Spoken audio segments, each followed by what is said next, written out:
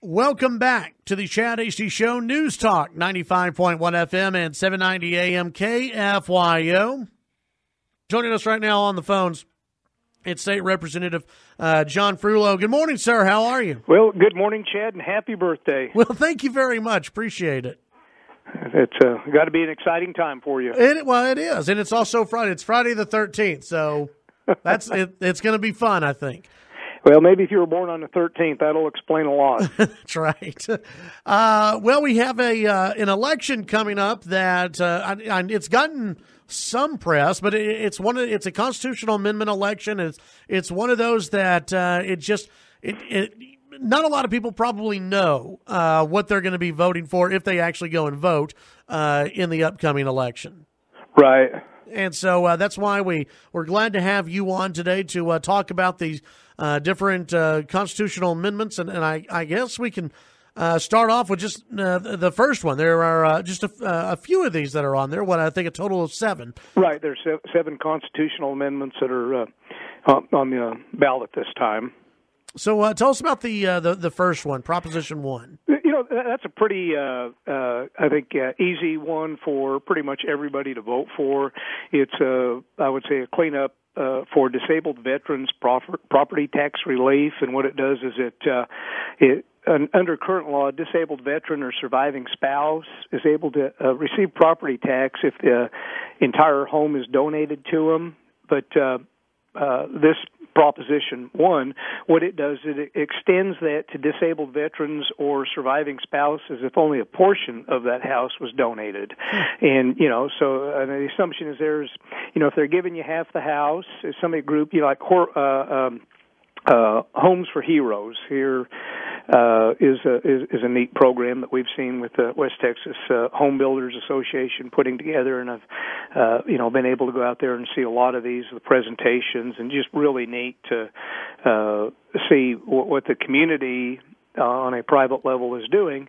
Uh, well, if you give them the whole house, the the, the veteran or the spouse, uh, th- that's tax deducted. There's no tax on that. What this does is say if there's a portion of the home that is uh, contributed or donated, then you should pro rata have a reduction in that property tax. So you know it's a it's a, a, a way to honor our veterans and help them out. You know those that have given so much and their families who have given so much to us to give back to them. Yeah, very good. Proposition number two that's uh you know kind of one of the most uh hard to read in worded uh propositions that uh I, think you know it shows that attorneys are involved in the process. Um you get done reading and you kind of wonder what what does it mean? And what it does is it just makes a number of changes to home equity loans where it gives options to borrowers. Back in the late uh, I think maybe it's like 97 or so 1997 Texas was the last uh, state to allow home equity loans. You know, you know, Texas has great provisions to protect uh, people and their homes from being taken away. Uh, you know, for a number of reasons other than just paying the mortgage, uh, and it keeps people from being able to get that. As you open that up, uh, the problem with that was is it didn't allow people the opportunity to access the value of their home. If they paid a lot of money down, then they have a reason where they need to maybe get some of that money back and borrow against their home, or if their home is just drastically appreciated in value, which you know a lot of folks have, there, there's no way to really tap that value other than to have sold the home and so they went through that process. Now they're saying, Let, let's open up a couple of other avenues. Uh, let's change away some of those fees or tallied in that process and make it to where homeowners basically have more options to, uh, you know, handle their assets, take care of their assets, and uh, I think it's it's a good free market type item. Uh, is there a downside to it? Yes. If you don't make your payments, if you have a large drop in value, have to sell your house, you have all those same items that you would have had anyhow. But at the end of the day, it's uh, I think it's a good way for people to access the value of their home. Uh, we're talking about the uh, Texas constitutional amendments, the election coming up on November 7th. Uh, we were visiting with State Representative John Frullo this morning. Uh, another uh, proposition, this one, uh, not a real long one when you look at the language of it, proposition number three. Well, it, it, it's not a real long one, and it's one of those that really doesn't do a lot. But it, it's a, you know, it's a, which is unusual for government. But you know, it's a start in the process. And what happens is uh, the governor appoints people uh, two positions, and then those positions run out. Sometimes they tend to just to stay in there if they're not reappointed. What this does is it starts an avenue for uh, saying that the governor governor has to either reappoint them or that seat goes vacant, and, and so it ensures that those seats are filled by uh, people. Those boards are filled uh, by people that are actually conducting the business of the state. So, you know, there's probably a lot of work that needs to be done in that area as far as just that how the, whole process works. But it, it's a start, and uh, you know, I think it's a good start. So we'll we'll see how that works out and ends up going. Uh, what about proposition number four? Proposition four has to do more of a, a lawyer type thing, and uh, what it does is it helps the attorney general if uh, somebody is saying that we have uh, provisions of the law that are unconstitutional. It uh, gives a period of about 45 days where the courts have to let the AG know, who of course was in town here just a little while ago. Had the uh, pleasure to visit with uh, Ken and speak to the folks out at SPAG um, you know, doing a great job defending our uh, state, and uh, you know, re- people get a chance to hear him that really need to listen to some of the things he has to say and wh- how he's protecting our rights. But this just gives our uh, top law enforcement officer, the Attorney General, uh, the ability to know that hey, the constitutionality is being challenged, and uh, lets him go and defend that. So I think I think that's a, a great. Uh, you know, great way uh, to you know, but at least let people know what's happening, what's going on. Yeah.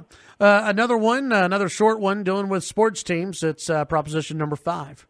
Proposition 5, what it does is, as you said, it's uh, for the sports team charitable foundations. And back in uh, 2015, uh, there was a constitutional amendment, and the voters uh, statewide voted for to roughly about 70 to 30 percent in favor of it. Uh, Lubbock County was actually a little bit less. They were uh, 57 43, so uh, a little bit less. What it does is it expanded what happened, what the uh, the state voted for in 2015 to other teams.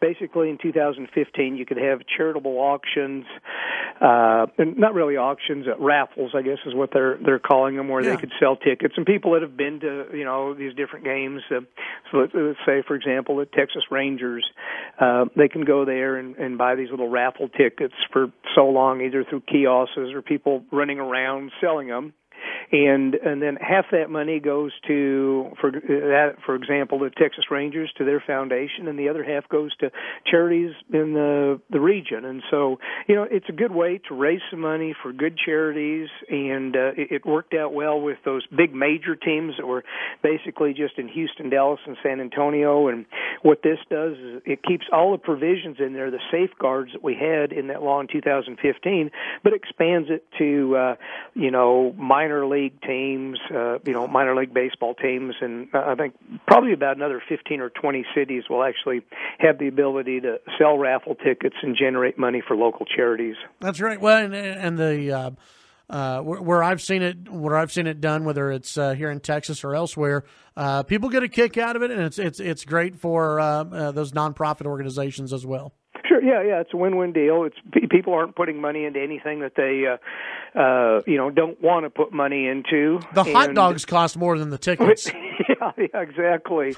And uh, you know, you have you have a chance to win. I think it's just sort of a fun thing. And plus, at the end of the day, you're helping a, a, a charity out. So there's there's you know, and they're typically good charities, uh, ones I've seen. So it's it's it's pretty easy. Yeah, uh, very good. Uh, proposition number six.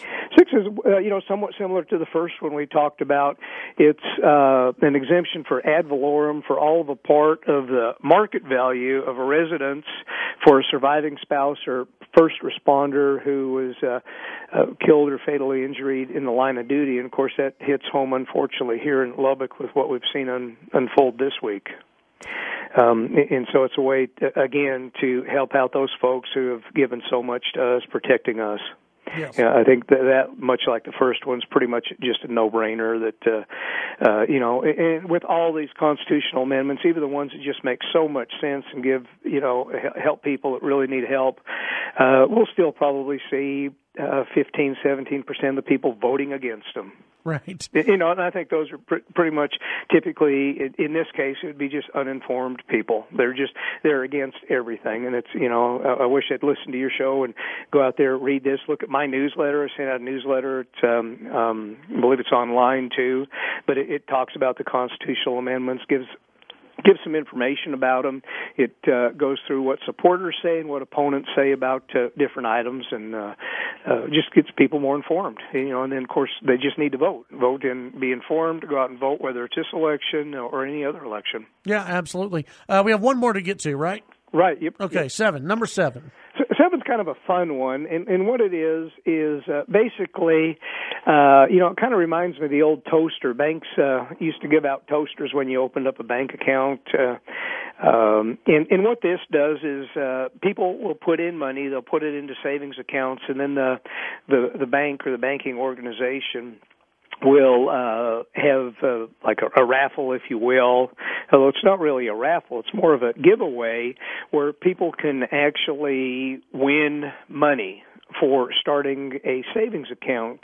And and so it uh, the reason I say it's not really a raffle and there's even a question of whether or not we need a constitutional amendment to do this uh, is you go down and you put in a hundred dollars into a savings account and then you become eligible depending on you know if the financial institution that you're dealing with participates in this and then you have a chance to possibly win something. Uh, you know so let's say you put in a hundred dollars you start that savings program and they have the raffle and you don't uh, win. Well, what what are you out? Nothing. Right. You still have your hundred dollars plus some interest sitting in that account, and, and so there's really not a downside. It's just a chance to encourage people to uh, save. What they we have seen in other countries is the people that are doing this are starting to actually save money. You know, something that we want. We've got terrible uh, uh, uh, savings rates in this country. People don't save, and so what we're seeing is a lot of uh, folks, especially people that have never had savings account, are starting to open this up with the opportunity opportunity to win a little bit of money. And uh, what we're seeing in those other countries is that amount is building, and people are actually learning the value. Uh, you've seen it. Of course, you've been down to um, Austin. You've you've watched the workings down there.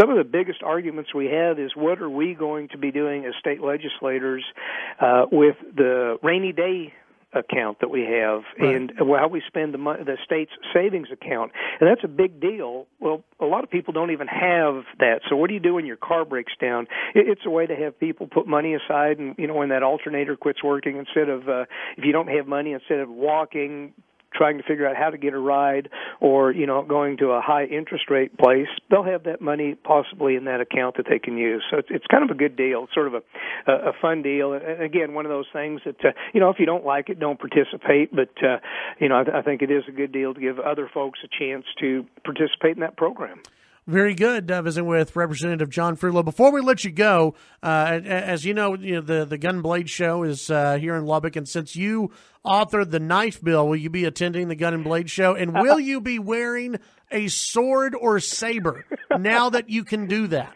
Yeah, uh, yeah, I'm probably uh, somewhat of a, a hero status there between the bill I passed last session session and the one I passed this session, uh, removing restrictions on knives, and then of course even further removing the restrictions this session to where uh, you can do it. No, I, I do not own a sword. I own uh, a ton of knives and course guns, but uh, no sword. So I. Not I not, think you need uh, a sword. I, I will not strap on a sword, uh, but uh, you know people can now strap on a Bowie knife. Uh, you know that uh, is so famous in the state of Texas that up until the time that uh, a bill that I altered passed, you could not carry one unless it was in your home, your motor vehicle, uh, you know, or you were in transport. So, uh, you know, I, I think it's a good thing. It makes a lot of sense. It removes a lot of confusing laws, and then it still keeps the uh, school zones and places like that, executions, uh, courtrooms uh, you know, the same provisions that they had before, but at least walking down the street, uh, again, you can you can carry that knife. And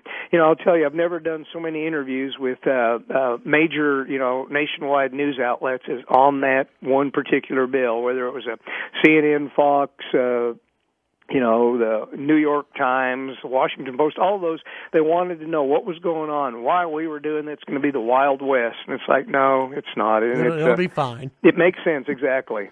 Representative Frullo, as always, appreciate your time today, and uh, we'll talk with you later on. Well, thank you, and enjoy this special day. Thank you very much, sir. Appreciate it. Thanks, Ed.